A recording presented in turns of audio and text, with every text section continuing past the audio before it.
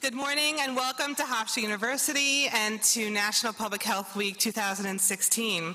We're thrilled to have food policy guru Dr. Marion Nestle with us here today to talk about how and why we should think very carefully about what we eat and what we drink. But before we formally introduce Dr. Nestle, I want to take a couple of minutes to thank our sponsor for this event, the Hofstra Cultural Center, and the many people who have helped put this session together event management, university relations, graduate admissions, and a team of volunteers from the Department of Health Professions led by our very own and very capable April Sitterine. Thank you.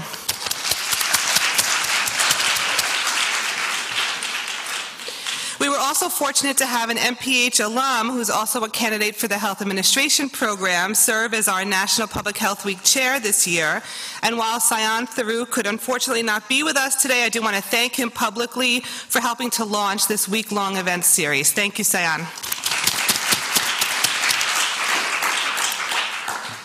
Please check out our conference brochure and you'll see some of the events that we still have scheduled for the remainder of National Public Health Week. Um, thanks also to our Student Society of Public Health Advocates, SOFA, for their dedication to this event series. And be sure to check out their health promotion table in our Student Center atrium today, between 12 and 3 in particular, because in addition to some great information and prizes, there'll be a special guest who you will not want to miss. I'd also like to thank my chairperson, Dr. Jane Ellinger, and Dean of the School of Health Professions and Human Services, um, Dr. Holly Seirup, for her support during National Public Health Week today and throughout the year long planning. And I want to now say a big hello to the four local high schools we have here today. Welcome. Welcome to our neighbors from Roosevelt. Yay. Uniondale, Garden City. Woo. Garden City and Westbury. So welcome. Hofstra is really happy to host you today. Um, we're also pleased to have the Health Commissioner for Nassau County, Dr. Larry Eisenstein here.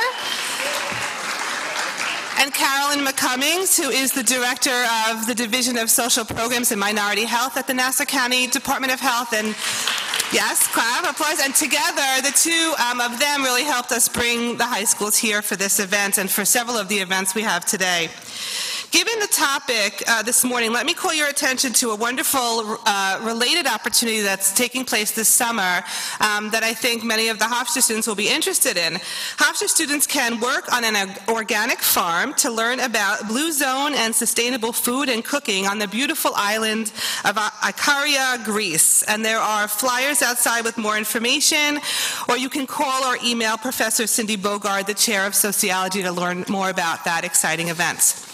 Okay, now I would like to introduce you to Keisha Sumner, a first year Master of Public Health student who is the mastermind behind this morning's keynote talk. Keisha also works as an HIV prevention specialist at the Federally Qualified Health Center in Westbury and she really wanted us to focus on nutrition at this year's National Public Health Week. So she reached out to Dr. Nestle. She took the lead on planning this event. And you have to understand that the logistics involved in somebody as sought after as Dr. Nestle are complicated. And she did it with such grace. She also helped to arrange live streaming and a book signing that will take place with Dr. Nestle right outside this session.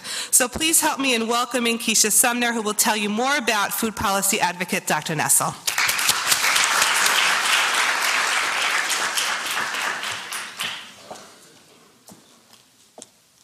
Thank you so much, Dr. Kyriacou, for a, a wonderful introduction.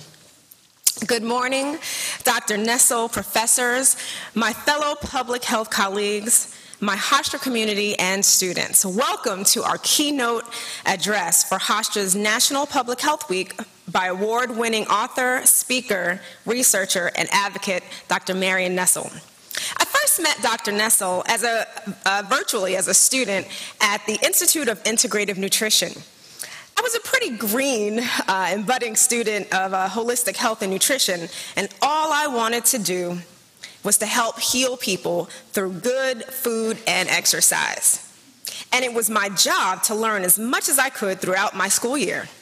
I learned about many types of dietary theories and bioindividuality, uh, but it wasn't until I came across Dr. Nestle's lecture that I learned how much deeper this nutrition thing really was. I had no idea of the complexity surrounding food and politics and how it affected my dinner plate until coming across Dr. Nestle's lecture.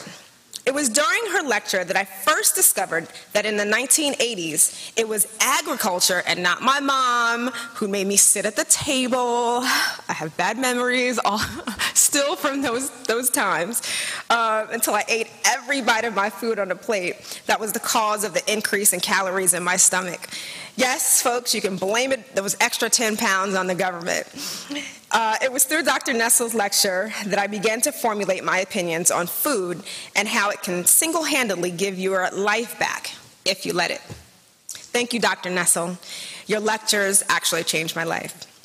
Dr. Nestle is a consumer advocate, nutritionist, award winning author, and academic who specializes in the politics of food and dietary choice. She has a PhD in molecular biology and an MPH in public health nutrition. Her research examines scientific, economic, and social influences on food choice and obesity with an emphasis on the influence of food industry marketing.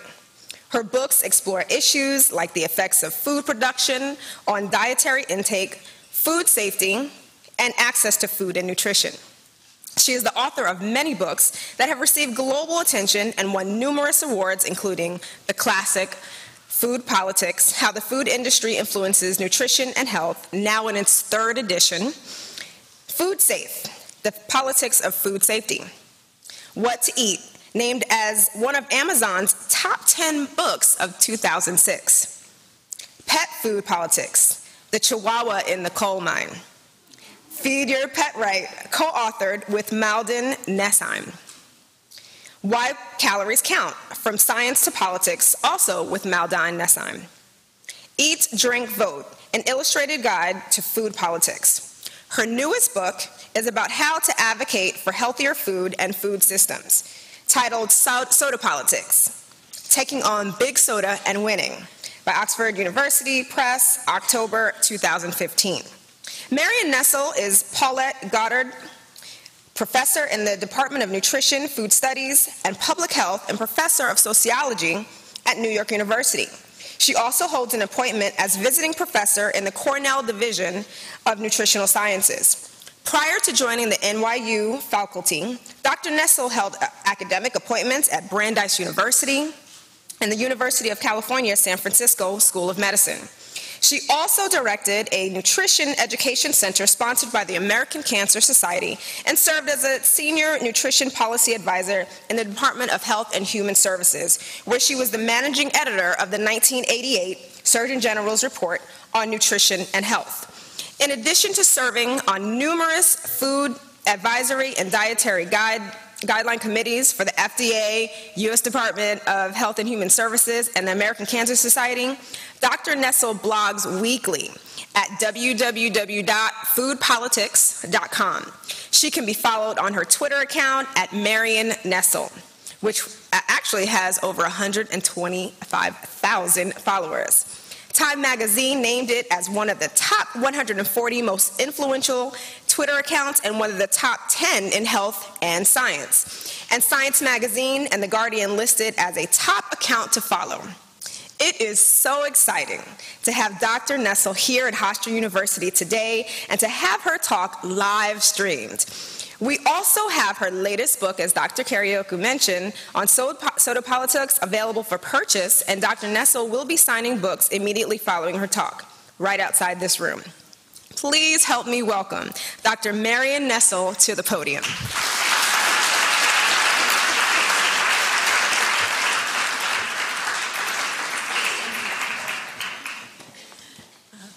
Thank you, Keisha, for that wonderful introduction. I'm kind of embarrassed.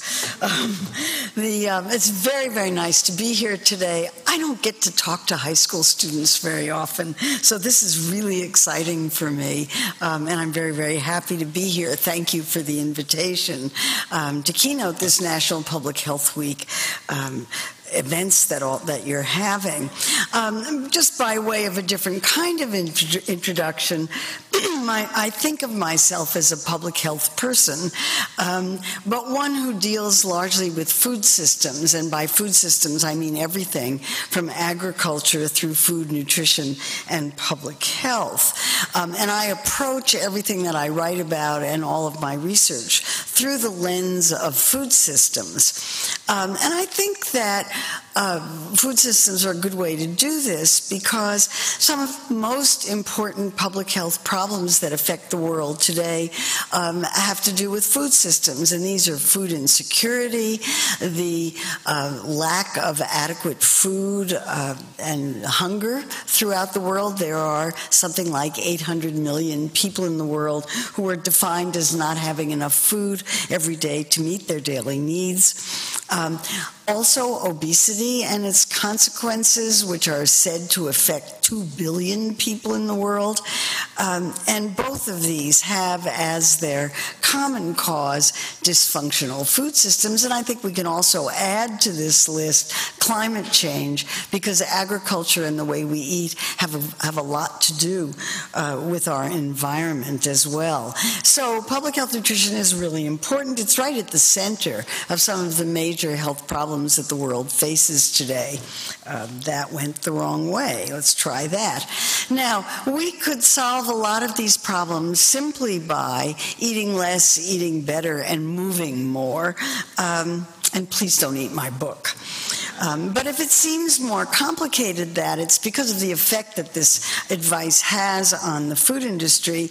And let me say something about moving. I'm not going to be talking much about exercise, but let me say something about it first. Um, there is very, very poor information about changes in physical activity levels over the past 20 or 30 years. Um, we, we, everybody believes that people are less active now than they were 20 or 30 years ago, and this slide illustrates that very nicely.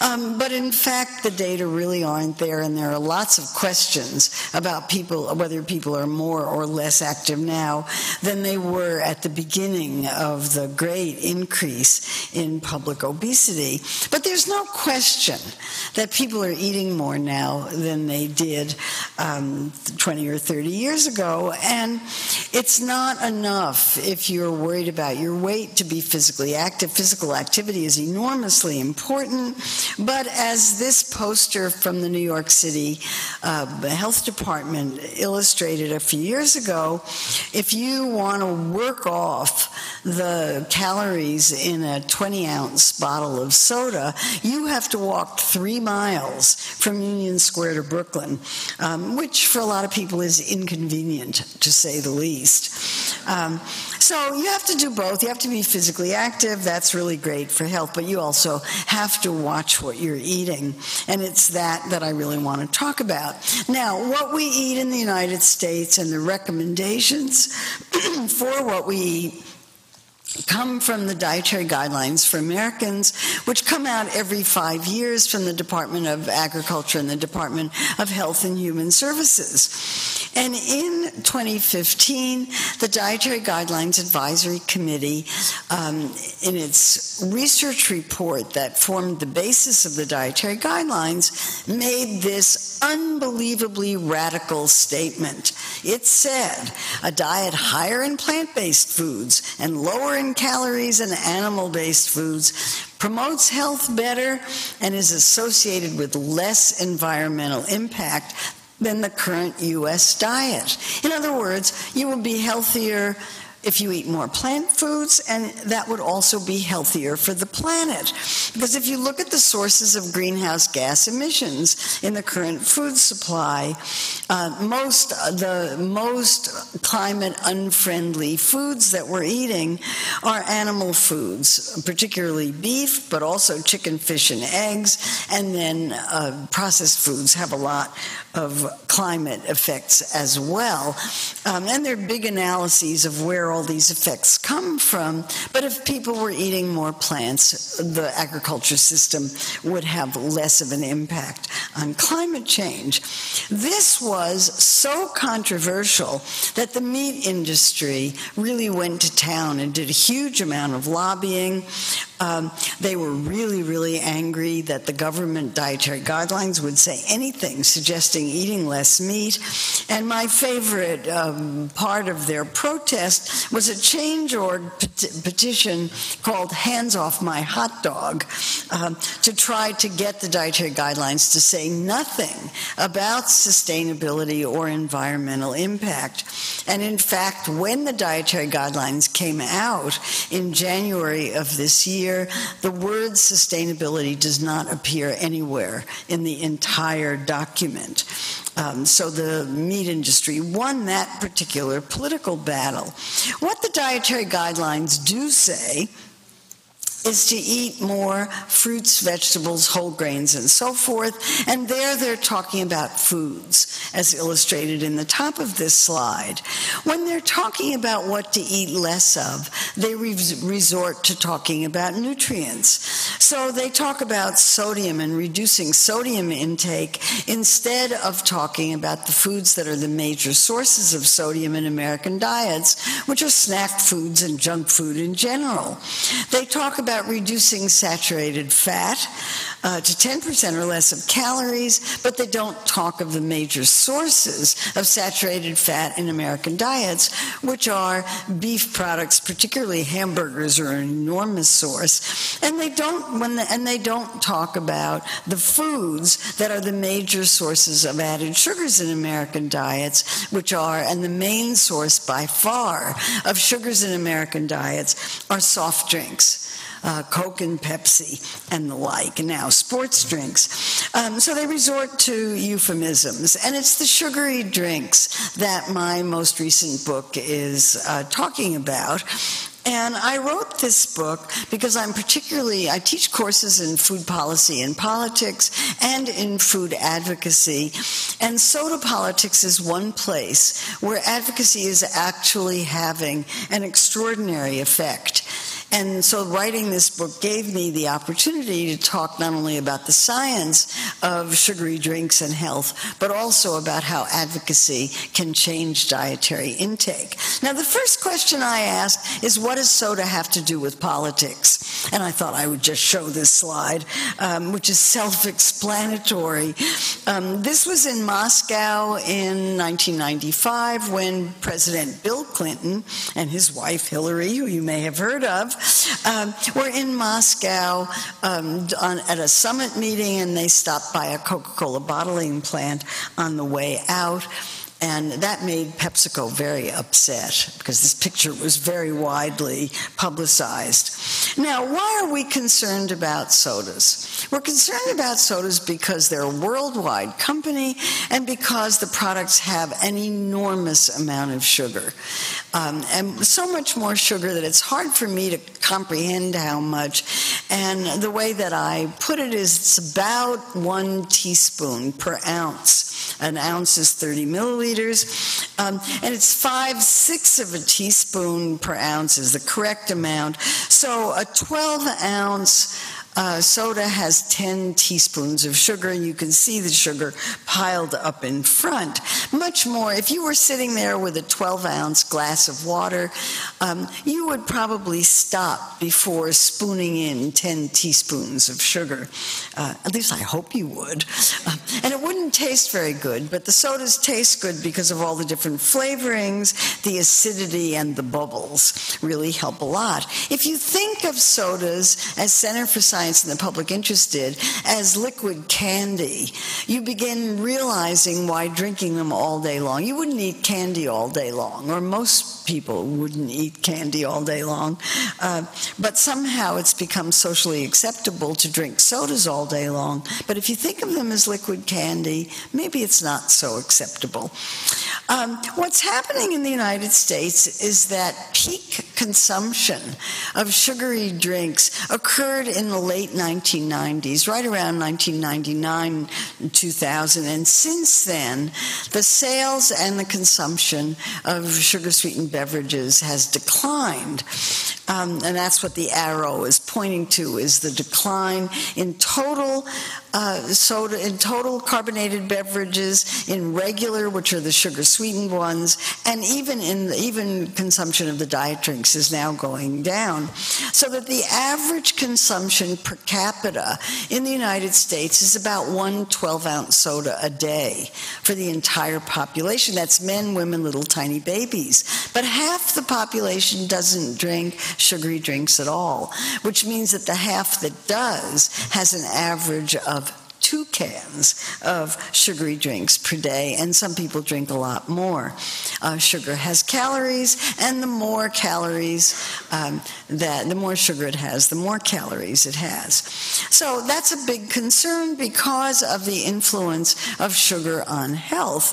Um, diets that contain a lot of sugars are associated with dental cavities, obesity, type 2 diabetes, some other kinds of conditions, and advocacy groups have put together these kinds of um, visual images to try to explain the relationship of sugary drinks to poor health to try to do something about it. Now, the soda industry is very well aware of the effect of advocacy on sales of their products. They blame health advocacy for the decline in sales.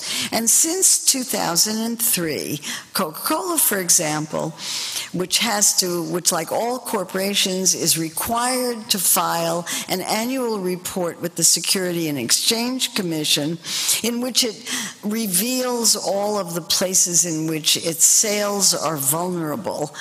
Um, it lists as its number one risk factors to sales obesity, and it has listed obesity as the number one risk factor since 2003 at least, explaining to the Security and Exchange Commission that researchers, health advocates, and now the Dietary Guidelines for Americans suggest that consumption of sugar sweetened beverages is a cause, if not the primary cause, of the increased prevalence of obesity. Um, so they're very, very worried about health advocacy.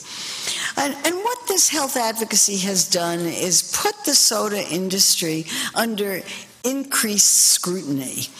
Uh, it's under increased scrutiny not only from health advocates but also from the business community. The business community, as shown here, is extremely worried about what's going to happen to Coca Cola's profits over the long term if people stop drinking sodas. Not good things are going to happen to Coca Cola's profits. There, the soda industry is also under increased scrutiny for its marketing to children. Um, marketing to adults, okay, nobody's going to argue much about marketing to adults. If you're an adult, you're supposed to be able to make intelligent decisions about what you eat or drink.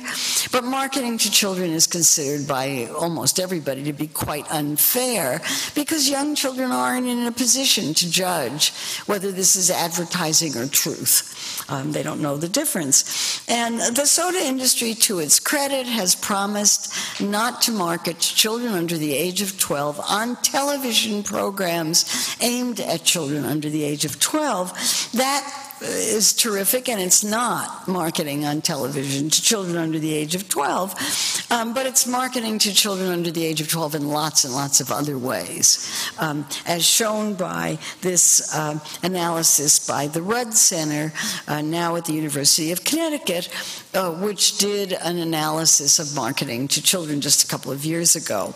It's also under intense scrutiny for its marketing to uh, minority groups, African American and Hispanic groups. And this has a long history and a very complicated history, so much so that I call the chapter in my book that deals with marketing to minorities um, a complicated story because 50 years ago, African American and Hispanic groups were um, advocating, sitting in, in protest, doing sit ins and demonstrations to get soda companies to market directly to them in their own publications. Um, and Martin Luther King, in a speech that he gave on the night before he was assassinated, gave a speech in which he urged his followers to boycott Coca Cola because they weren't hiring African Americans. Um, well, things have changed since then. Um, the prevalence of obesity is higher in the African American community, and now African American health authorities are um, and health advocates are uh, suggesting that drinking less soda would be better for everybody. But the place where the soda industry has gotten the most scrutiny lately is over its sponsorship of research um, promoting the idea that exercise is better for you. Uh, if you're trying to do something about your weight, than is trying to do something about what you're eating. And on the front page of the New York Times last August was a story about Coca Cola's efforts to fund something called the Global Energy Balance Network, a group of investigators at the University of Colorado and other places who were arguing that uh, health advocates are always telling you to eat less, eat less, eat less, don't drink sodas, but you don't have to do any of that. All you have to do is be a little bit more active. And they neglected to say uh, that they were told totally funded by Coca Cola. And this was so shocking to uh, the readers of the New York Times. Um, and I know it was shocking because I talked to dozens of reporters in the week after this article came out, and they were truly shocked that Coca Cola would fund research like this, that researchers would accept funding from Coca Cola for research like this, and that the university would allow them to take this money. It shows how little the reporters know about how universities work, but never mind. Um, even Fox News was shocked, as shown here. Um, so I have to say that to its credit, Coca Cola hugely embarrassed by this and taken aback, uh, really surprised by the reaction to this, said, This isn't the way we want our company to be perceived. We're going to do better.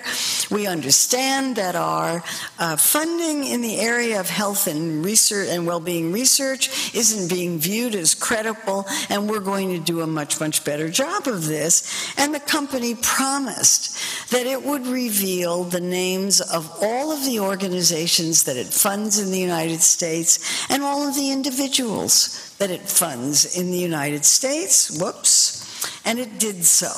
Uh, if you go on uh, the on the website, you Google Coca-Cola transparency. This website pops up that allows you to search through the thousand or so organizations that it funds in the United States, and some group called Ninjas for Health for Health. I have no idea who they are. Did an analysis of the individuals who Coca-Cola funds and discovered that 55 percent of them were dietitians, nutritionists. We're taking money from Coca Cola. You would think that nutritionists and dietitians would be telling the public that, and their clients and the public that they would be healthier if they drank less soda, but they're being funded by Coca Cola, and you can bet that they're not. Um, and then there were a bunch of academics who were also funded.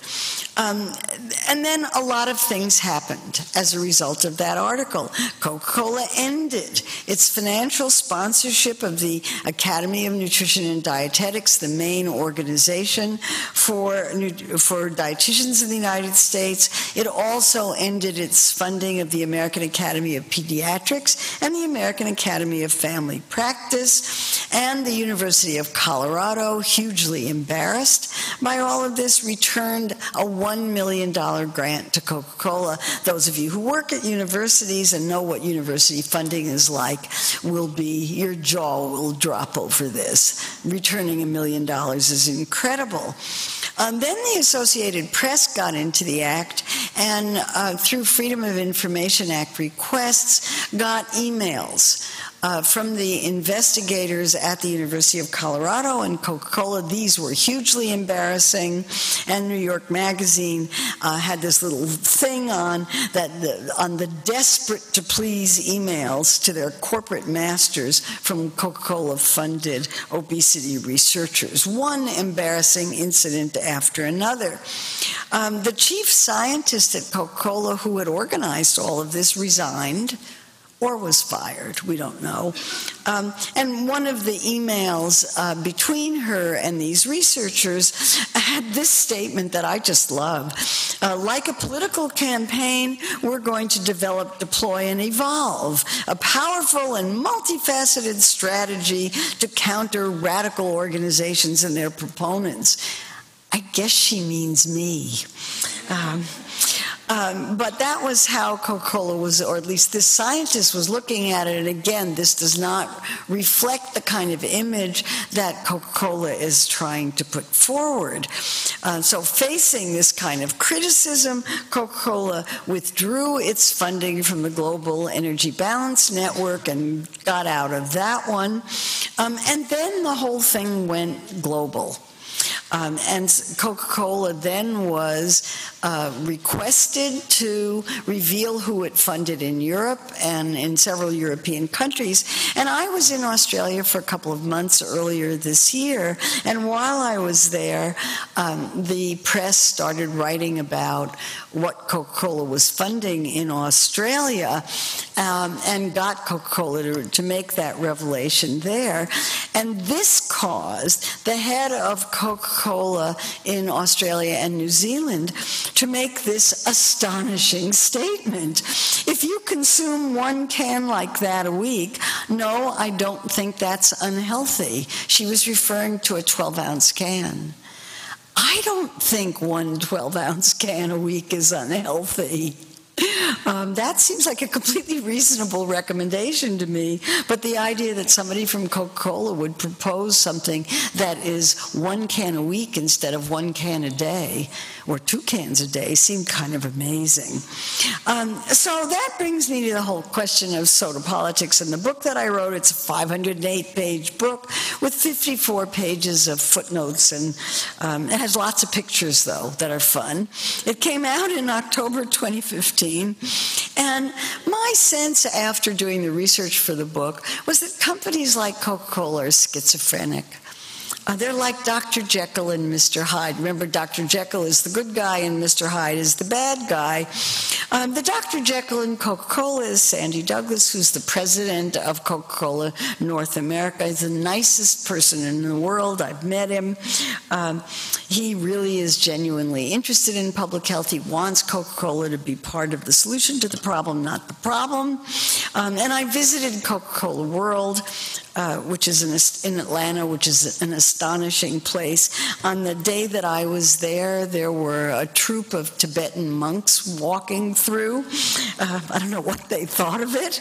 And then through the big window, you can see the American Cancer Society's national headquarters, which are right next door to it. It's kind of amazing. Um, but in any case, uh, Sandy Douglas and the Dr. Jekylls of Coca Cola are extraordinarily proud of the fact fact that the sales of sugary sweetened beverages are going down and the sales of water are going up. Um, so the water is, in one sense, saving their company. They think that this is happening and that this will be healthier for everybody.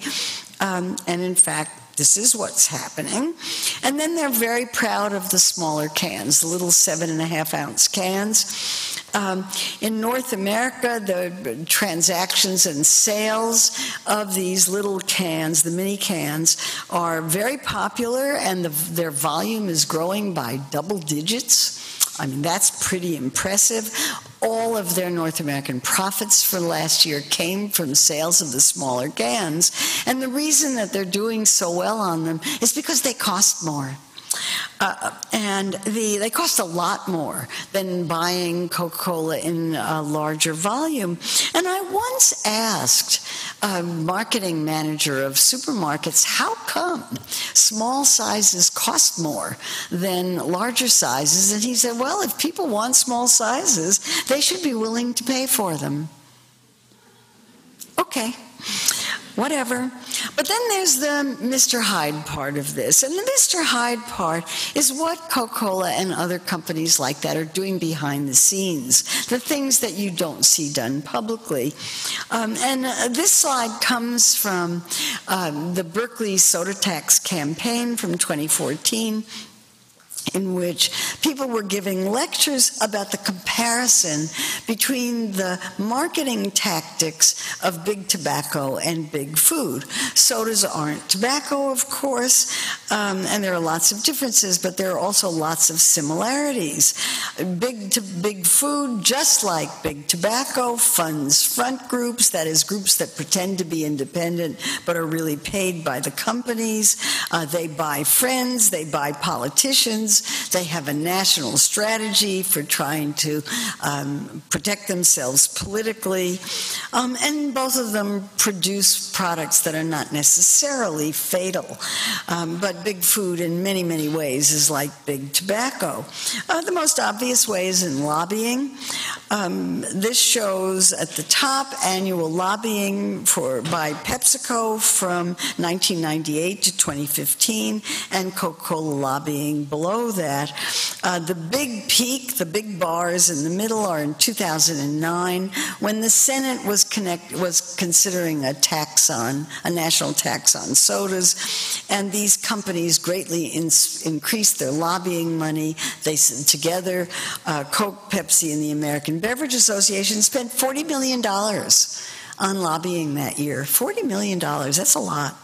Um, and they succeeded in defeating um, a national soda tax. Now, I saw the sort of Mr. Hyde part of um, the soda industry's activities. I saw them in action during the period that Mayor Bloomberg had proposed a cap on um, the sizes of sodas sold in New York City, uh, something that was immediately reframed by its opponents as a ban.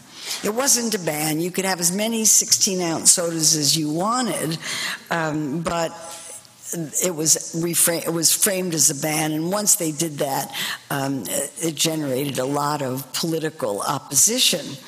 So uh, I got to see that in action. The first thing that the soda industry did was to attack the scientific basis of the idea that sugar sweetened beverages affect health. Are they driving obesity? Not according to the facts, according to the facts as interpreted by the American Beverage Association. Then they defended self regulation. We've taken all these bad drinks out of schools. Um, they don't mention in their advertisement that they had to take them out, and that was a negotiated settlement because otherwise there was fear of regulation. Um, so they defend self regulation and then they attack the critic. So this was a full page ad in the New York Times. That's Mayor Bloomberg. Um, dressed up as the nanny, and uh, he has a sense of humor. So he was asked that afternoon, um, what did he think of that ad? And he said, Oh, that dress. I would never wear a dress like that. It was so unflattering. No. Um, and then they did an enormous attack on the soda cap, um, focusing on the issue of personal choice, that this was taking your personal choice away. Um, and there were lots and lots of college students hired in New York City uh, to wear t shirts saying, I picked out my beverage all by myself and and canvassing and getting collecting signatures on petitions to overturn this. And my research assistant went out and talked to them one day. Um, and asked them how much they were being paid, and they were being paid thirty dollars an hour by one of the by one of the front job, one of the front groups. It was the best job in New York. Um, and then there were trucks. Don't let bureaucrats tell you what size beverage to buy. I got a personal mailing to my home um, with a postcard saying I can make my own beverage choices. There were social media, radio, and TV ads, t shirts, but I mean, everything you could think of. An enormous, enormous campaign.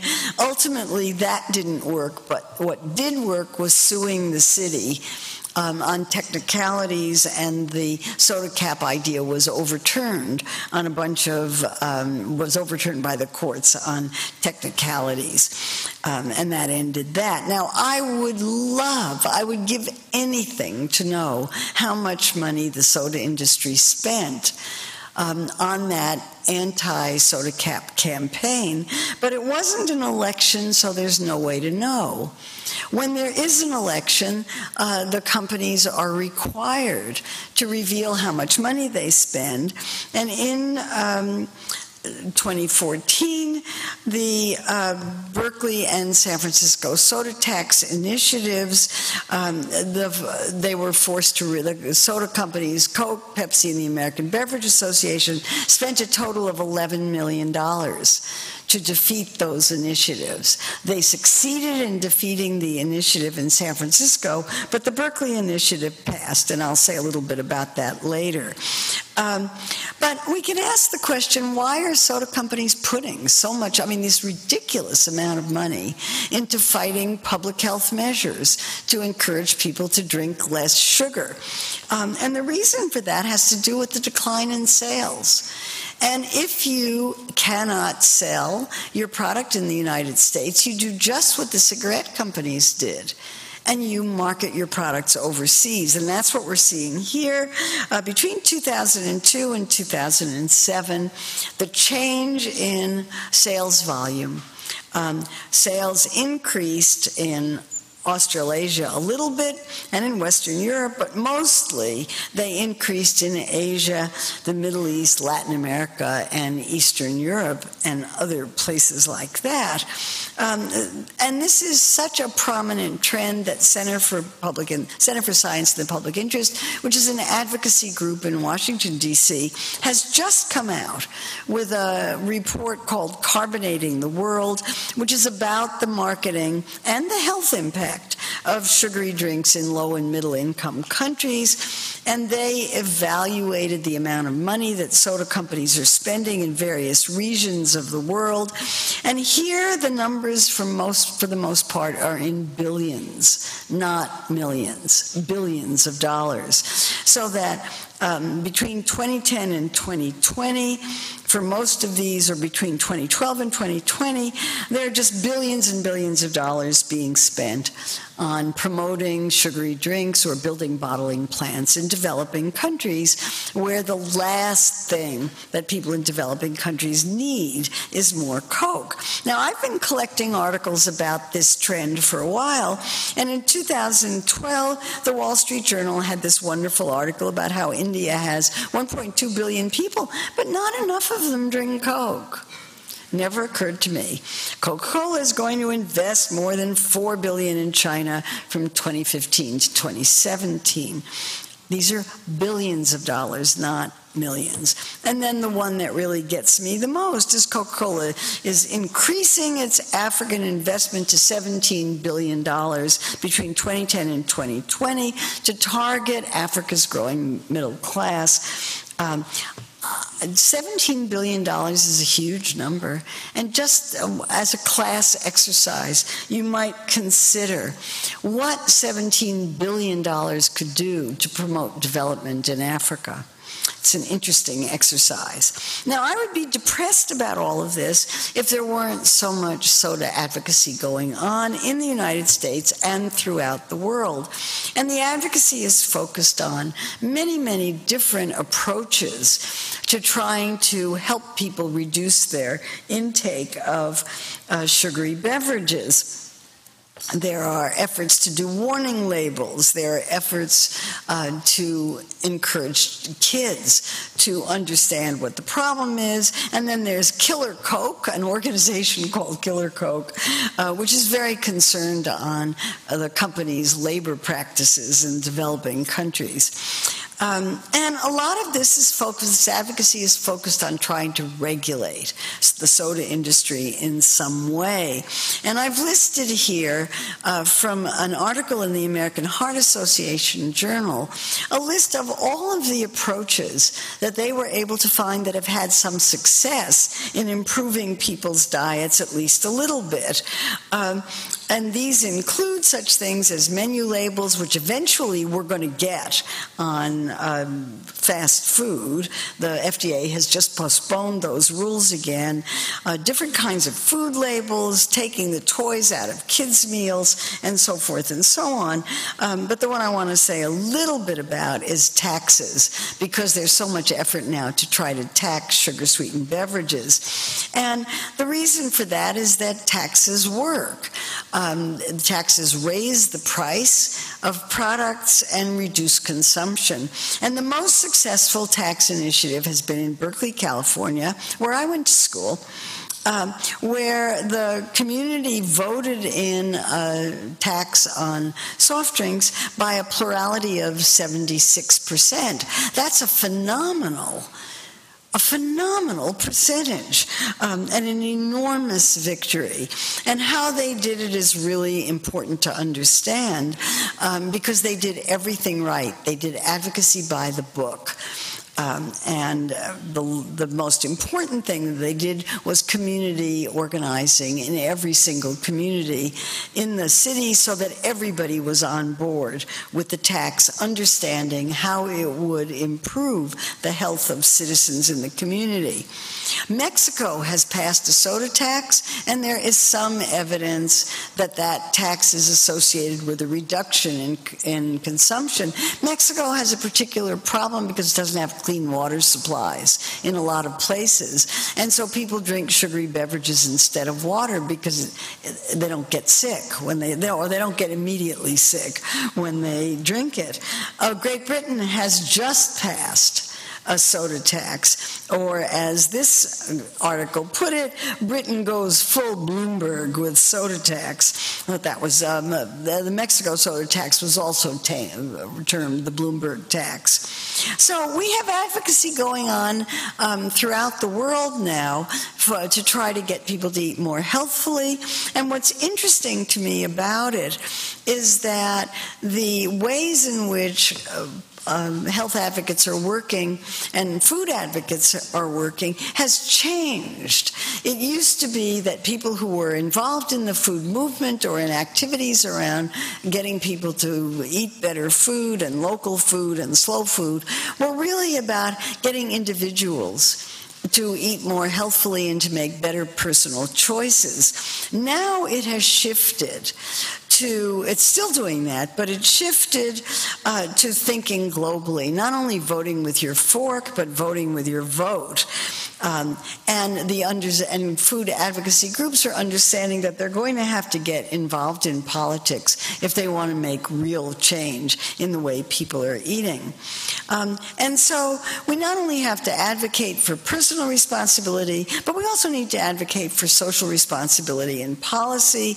And I have a long list of ideas about the kinds of things um, that would make for better advocacy, um, sustainable agriculture, food safety, doing something about the farm bill, but also on the public health side, increasing access to healthier foods, making sure that the food in schools is healthy for kids, um, and then taxes, and then moving up taxes and size caps, um, and then to get, if you really want to work on something difficult, you try to change campaign funding laws so our, leg- our elected legislators will vote for public health instead of corporate health. That, I think, has a way to go. But there are lots and lots of ways in which people who are interested in food issues can engage with individuals as well as with society as a whole, and lots of things that you can do as food advocates to make really important differences in people's lives. Uh, so these are the kinds of things I talk about in my books, and I'm very, very happy to have the opportunity to share these ideas with you today. Thank you so much.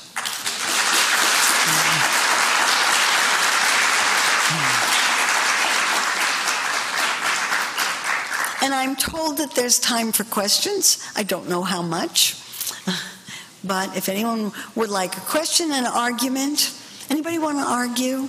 I love arguments. Um, complaints, praise, whatever you like. I believe there's a microphone that's supposed to be passed around. I see a hand down here, a brave, some brave soul. No. Or you can come up. Unfortunately, if you're looking for a fight, you're not going to get it from me. Thank you for an excellent talk. Um, that was provocative, current, timely information. Um, I'm curious for the high school students in the audience, childhood obesity and these issues about sugar consumption have been a hot topic for their entire lives. And you've been doing this work for decades. How do you stay motivated when there's so much frustration and there's so much small incremental change along the way? Well, for one thing, I'm old. Um, it makes a really it makes a really big difference because I've got a much longer view than somebody who's in high school. I remember what it was like in the year that you were born, and it's really changed since then. The changes have been profound. There's better food in, in supermarkets. You, the, you can get access to healthy food year round in American supermarkets, and that was not possible 20 years ago. It's hard to imagine, but it really wasn't. There are vastly more uh, farmers markets, places where you can get healthy food. I understand you've got a farm on this campus. That's pretty exciting. That's new. It wasn't here 20 years ago, I'm willing to bet. Um, there's more organic food, there's more local food. There are more people involved in the food movement. And the way that I measure it personally is that in 1996, we at NYU started undergraduate, master's, and doctoral programs in food studies. Everybody thought we were crazy. Who would want to go to college and study about food? Now, every college I go to has courses about food, programs in food. There are hundreds of universities across the country where there are people who are studying about food. There are environmental programs where there are people concerned about climate change. We have an animal studies program at NYU. None of these were there 20 years ago. So, and then I have students in my classes. You're here today. Why wouldn't I be optimistic? There's much cause for optimism. You just have to be patient. Um, okay a little patient, not too patient, a little patient.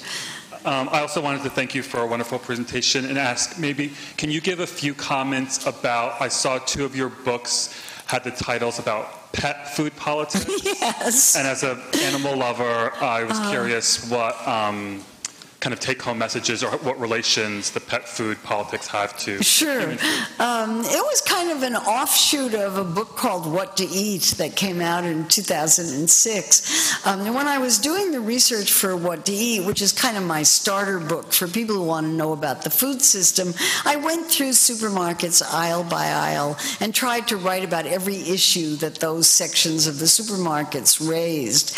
Um, and in the market that i was doing most of the research in, which was a Wegmans in upstate New York, there was an, an aisle that was 110 feet long that had cat food on one side and dog food on the other. So it was one seventh of the real estate in that supermarket, and I didn't know anything about it. I would pick up those cans and look at the labels. I had no idea what they meant. But my partner, Mal Nesheim, was an animal nutritionist in, uh, early in his career, and he understood what it was about, and I thought, oh, goody. If I don't understand it, other people must not understand it either. Let's do a book about pet food.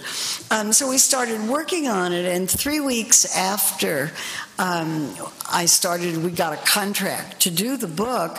Um, there was this enormous recall of 100 different brands of pet food because they were contaminated with a chemical called melamine that was put into an ingredient that was supposed to be protein, um, but instead was this chemical that tested like protein but wasn't, and it poisoned thousands of cats and dogs. And so I got diverted, and that's where pet food politics, the Chihuahua and the coal mine came from. Um, and it's a book about it, uh, the argument in that book is that if we don't have a food system that's safe for pets, we're not going to have a food system that's safe for humans either. And six months after the book came out, 350,000 babies in China were poisoned with melamine um, in baby formula, in infant formula. So I thought that proved my point. Um, but that was a little side, it was a sidetrack. Um, most, it was really fun to write about. We met the alternative pet food community. They're really people who feed raw, people who feed um, human food, to pets. And uh, one of the points we made in the pet food book was that pet foods are the waste products of human of the human food system. They're the byproducts of it. And if we didn't feed byproducts to pets, we would have to, it would be the equivalent of having to feed another 30 million people. Um, so I'm, uh, you know, and now that everybody's so interested in food waste, uh, that's actually a good use of those byproducts. Um, my name is Blanca Duran from a high school. I mean, Westbury High School. Sorry. Uh, my question is, are you guys doing the same thing for fast food restaurants? I'm sorry. Are you guys doing the same thing for fast food restaurants? The same thing you're doing for that? I'm sorry, I can't hear very well, and I. Are you guys doing? Can, can you translate the question? for restaurants. Oh, that's been done. Restaurant. Oh. I mean, restaurants have been. Center for Science in the Public Interest, um, which is at cspinet.org, um, has been looking at the quality of food in restaurants for ages. It's very difficult to deal with what happens in restaurants because they're all so different. Well, the reason why um, menu labeling has gone into fast food restaurants restaurants is because they make the food the same way in every one of their outlets. So if you go to a Burger King or a McDonald's or something like that, you're going to get the same thing everywhere in the country. And it's kind of standardized, but most restaurants aren't standardized at all. Um, they cook depending on what ingredients they can get. It's impossible to do labeling. It's, it makes things very difficult. Um, what New York City was able to do was to get the trans fat out of restaurants in New York cities. That was a great public health measure. Um, and they were able to do that because trans fat doesn't have any taste and, it doesn't change the taste or flavor. But to try to get restaurants to cut down on the amount of salt they're using is really hard. Really, really hard. And nobody's been able to do that yet. Uh, a much, much harder place to try to do advocacy than um, food products. It's a good question. Uh, is it working? Okay. Um, so, how would you compare soda in terms of health to like fast food and cigarettes? Oh, I guess I'd put cigarettes first. Uh, you know, the number one health thing you, sh- you should do for your health is to stop smoking, or don't start. Much, much better not to start. Um, you know, and I'm trained in science, and it's very difficult for me to say um, sodas cause obesity. I would never, never say that. Um, what I would say is that people, that there's an association, but association is not necessarily causation. People who drink a lot of soda, and we're not talking about one can a week. We're talking about a lot of soda. People who drink a lot of soda generally have worse diets than people who don't. They're heavier. Uh, they have a higher risk for type 2 diabetes and a lot of other problems. Sodas are an easy target. They're what in public health terms are called low hanging fruit. They're really easy because they're sugars and water and not much else. They have no nutritional value. They're candy. Um, and, and so it's an easy place to start. And one of the interesting things about it is, and this is anecdotal evidence, is dozens of people have told me that they made one change in their diet. They stopped drinking sugary beverages and the pounds just fell off. They had no trouble losing weight. They had no idea how much that was contributing to their weight. But it's very hard to say this causes this. It's a contributor. That's the best I can do on that one. The same thing for fast food. If you eat fast food once a month, it's not going to be a problem. If you eat fast food every day, Um, Morgan Spurlock made a movie out, of it called Supersize Me, my screen debut. I appear in it for 10 seconds. Um, the, um, you know, he made a, he ate nothing but McDonald's for a month and gained a lot of weight um, and got really sick. But there are other people who have eaten at McDonald's for a month and lost weight. It depends on how much you eat. Always the answer to that, those kinds of questions are it depends. But less is better.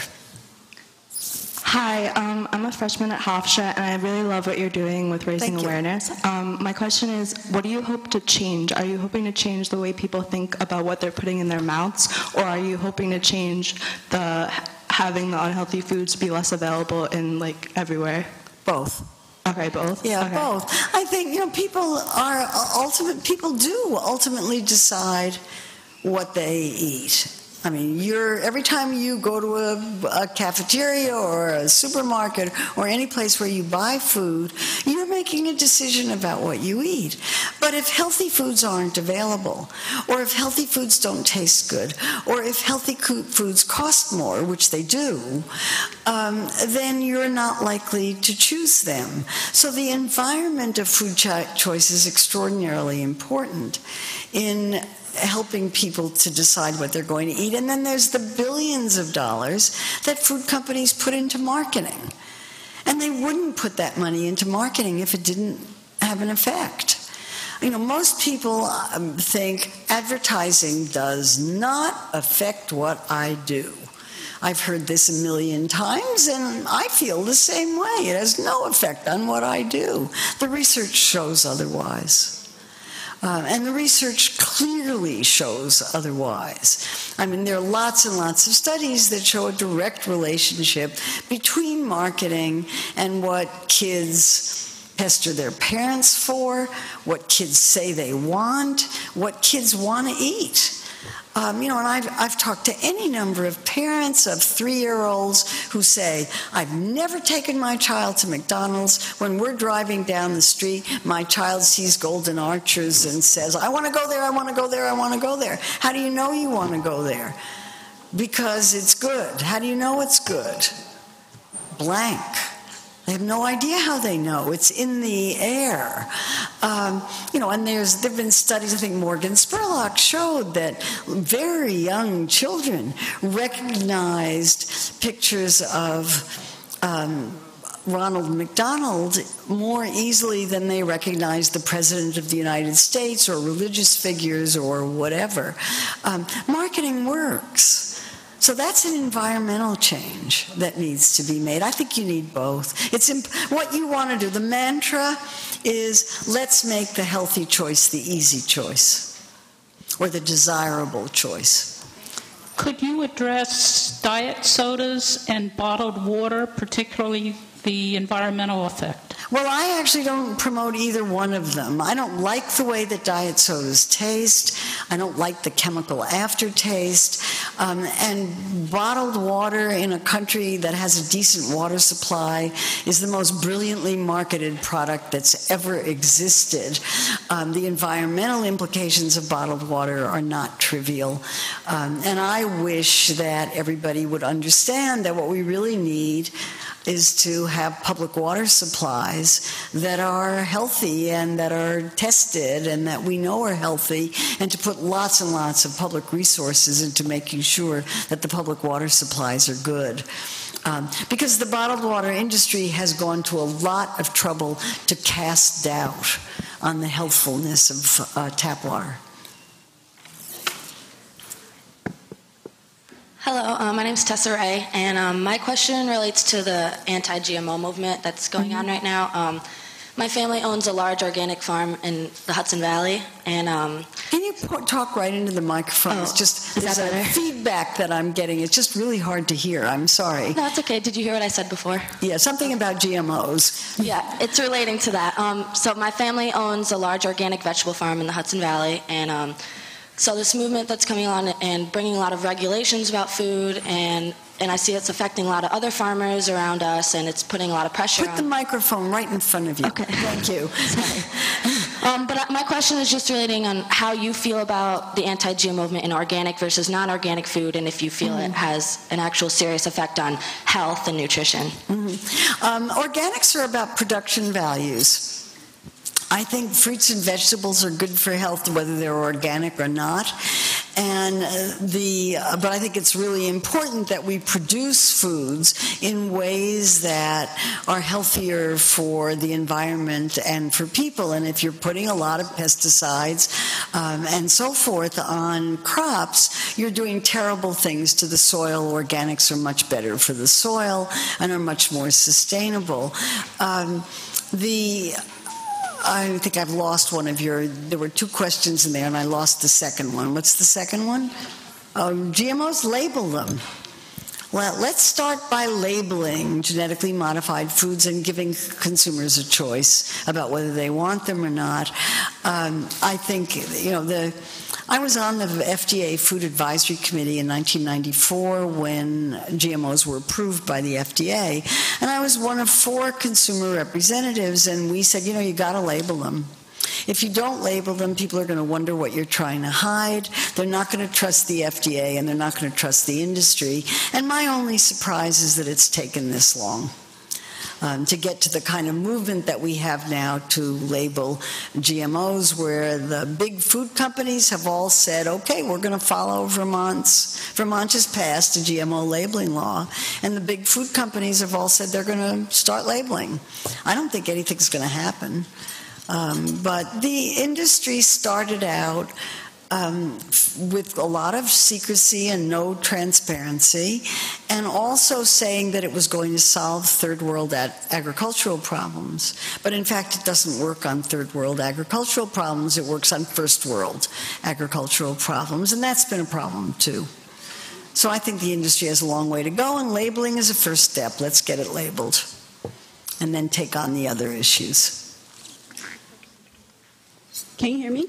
Okay. My question is um, should there be like um, warning labels on packaged foods concerning like potential health risks like obesity, just like there are warning labels on cigarette smoking? Well, there's been a big push to put warning labels. Again, what food would you put it on? I mean, it's really hard. The reasons why sodas are a reasonable topic is because they're sugars and water. They have no nutritional value whatsoever other than calories. Um, so they're an easy target. The minute you start talking about warning labels for anything else, you're talking about foods that have nutritional value. Fast food has nutritional value. Um, there are warning labels now in New York City on foods that have vast amounts of sodium, salt. Really high salt products are now required to have a warning label on them. Um, is that helpful in changing behavior? Um, I don't know. I don't think it's, they haven't been on long enough to really know. Calorie labeling has been in New York City since 2008 eight, I believe. And there's plenty of evidence that overall calorie labeling doesn't change purchasing behavior, but it certainly changes my purchasing behavior. And it changes the purchasing behavior of lots of other people who are interested in calories, concerned about calories, and are worried about it, but somehow overall the data don't show that it has much of an effect. It certainly affects my behavior. On the other hand, it may not need to. So uh, it's hard to know. It's very difficult to know how these things are going to work out over the long term. They're all being researched. And we'll learn how they're being researched once they're in place for some period of time. I found your presentation very informative. So I wonder what made you so passionate, and also what's your next step in your journey? Oh, thank you. Um, the passion comes from knowing that this can do some good. I really want people to be healthy. I think health is a really great thing, um, and it's it gives you many more opportunities to do something useful and fun with your life than being sick all the time. Um, it's not fun to be sick. Um, so that's where it comes from. I'm trained in public health. I believe in public health. I think public health is very democratic because it's about public health for everybody. Um, so there's a democratic element to it that appeals to the way my belief system works. Um, my next book is going to be on uh, the on food industry funding of research because I'm enormously concerned that food industry funding of research is skewing the results of research and making people um, think that unhealthy products are healthy and that healthy ones don't matter. And I, I think that's it's undermining public health. And so I've just started collecting materials on that, and I'll be working on it over the next several years. Thanks for asking. Hi, um, my question is I understand how you're trying to convey the I understand how you're trying to convey the message that healthy food is, you know, is better than junk food, but how can you how can you convince them when healthier food is more expensive? I think it's a really difficult problem. And it's about policy in the United States. Um, I mean, if you look at the data on the change in price of foods from 1980 to the current time, the price of fresh fruits and vegetables relative to the price, these are index prices, so it's relative, have gone up by roughly 40%, whereas the prices of things like beer, junk food, and sodas have gone down by 30 or 40 percent. So that's what's actually happened. When people think that fruits and vegetables are expensive, it's because they are. Uh, it's not because people are making this up. This is a result of policy. We have government policies that support the price of some foods more than others and that make the price of processed foods, junk foods, um, and other kinds of foods that aren't particularly healthy much cheaper than the price of fruits and vegetables. There's almost no federal support money for growing fruits and vegetables. There's some token, sort of small uh, programs in millions, not billions, whereas most of the supports for agriculture go to, I'm just back from Nebraska where it's corn, soybeans, and ethanol as far as you can see. Uh, corn and soybeans are the basis of um, junk food because um, it's the basis of cheap starch and cheap sugars in food. Um, and we don't see anything like that kind of support for the growing of fruits and vegetables. There's very little support for small farmers. There's very little support for beginning farmers. Um, and that needs to change if we're going to change the prices of foods. There are a bunch of programs that reduce the price of fruits and vegetables for um, food stamp, for food stamp recipients who shop at farmers markets. This is a tiny fraction of even the food stamp recipient population. So we need to do much, much better on this. Um, and I actually don't tell people what to eat. I mean, it's not something that I do. Um, I tell people what I observe in the world and hope that people will try to figure it out for themselves, and that advocacy groups for the poor will start advocating for federal policies that make it easier for people, for, for poor people to eat more healthfully, because that's what I think we need. I don't think it's a personal issue, I think it's a societal issue. Uh, good morning, ma'am. Uh, thank you again for your uh, presentation. I just wanted to go ahead and uh, just say that um, in 2009 I was uh, uh, I became engaged in food politics by watching Food Inc., mm-hmm. which I think is a good movie for a lot of students to go ahead and to mm-hmm. watch as well.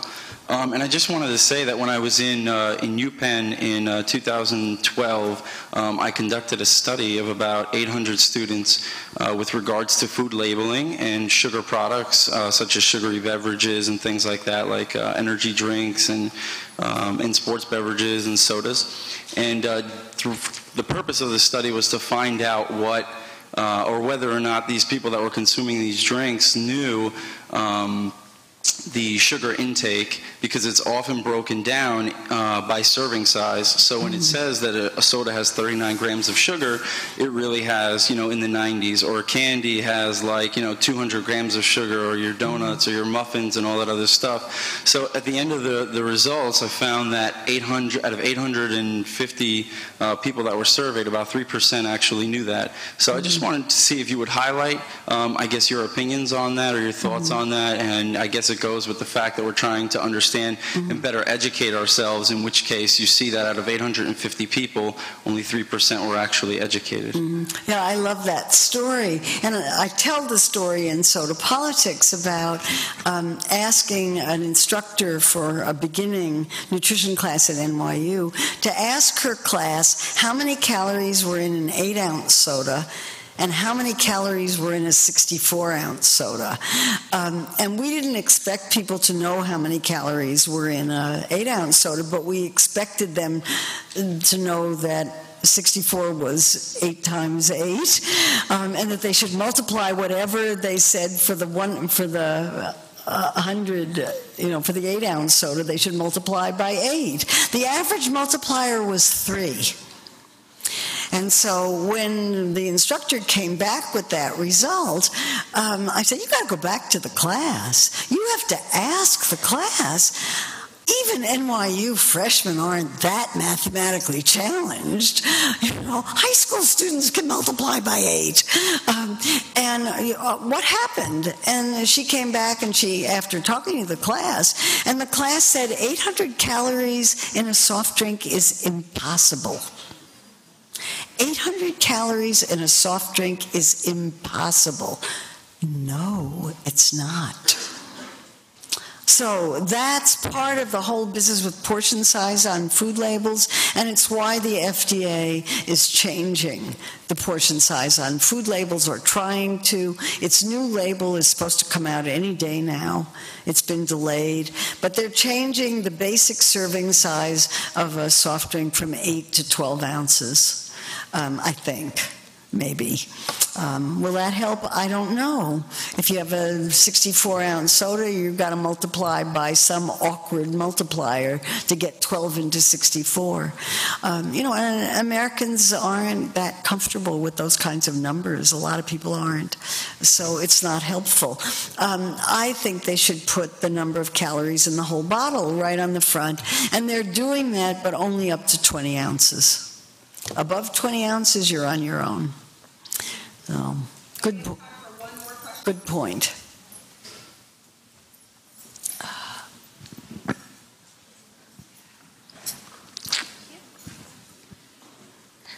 Hello, um, my name is Deanne Quill, a senior at Roosevelt High School. I was wondering, is seltzer water like a great alternative for instead of carbonated drinks such as soda? I'm sorry, couldn't get it. I, it's really hard for me to hear. Alternative? Water. Water's a great alternative for soda. Out of the tap. Out of the tap. Something with less sugar would be better. Um, fruit juices are fine, but they have just as much sh- sugar as soda, but they have vitamins and other things that go with it. So, fruit juices in small amounts, soda in small amounts. Not never, if you love them, but I think once a week is just great. and otherwise, water. Get used to drinking water, it's good stuff. Quenches thirst. Thank you. Thank you. Thanks very much. Yeah.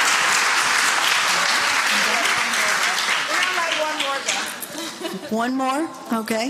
Uh, hi, hi, Dr. Nestle. Um, just a quick question. I couldn't help but, but not ask you after seeing Hillary Clinton in your uh, presentation about whether there is a particular person that you feel running for president now could better address some of the issues on a national platform.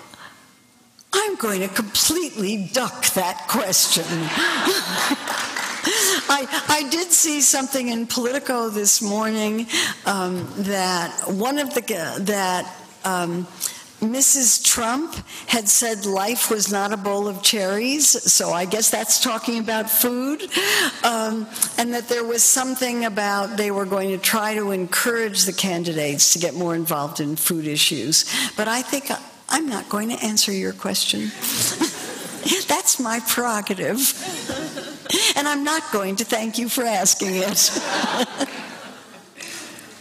Thanks very much. Stay here. Uh, once again, let's give Dr. Nestle one other round of applause.